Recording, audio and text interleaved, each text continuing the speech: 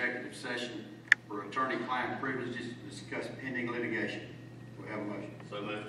Second. Motion, second.